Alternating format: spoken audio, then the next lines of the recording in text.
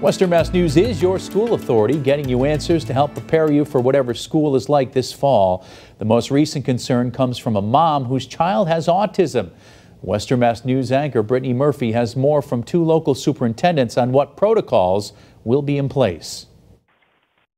Hi, um, I'm concerned because I have a five-year-old little boy, and um, he's autistic these little young kids, they don't wash their hands when they go to the bathroom. You have to, con- you know, constantly redirecting them. For me, I have underlying illness, and my mom have underlying illness.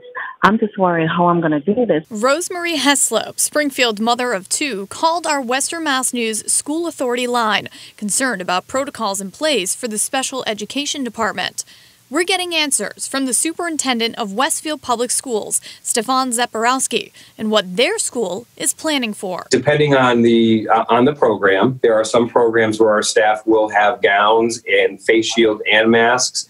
Uh, our goal is to again, supply as much uh, PPE as we can to our staff so that they also feel safe uh, working in the classrooms because we are looking to bring in some of our high needs students in every day once school opens. However, he says it's on a case by case basis. If we think they would benefit from wearing more additional material, as gowns, but again, we've ordered enough to kind of cover us uh, through January, so we certainly uh, we just want to make sure we have enough material for everyone. John Franzoni, superintendent of the North Berkshire School Union, says they've purchased temporary desk dividers. We'll divide right across a, um, if a teacher and a student are working face to face across a table, it will allow to have, you know, kind of like you see in the stores where you have it, won't be plexiglass, but it'll be some kind of clear material uh, that will separate. So, for example, speech you can't do speech instruction with with a mask. So we want to make sure that the student and the teacher are both protected. And so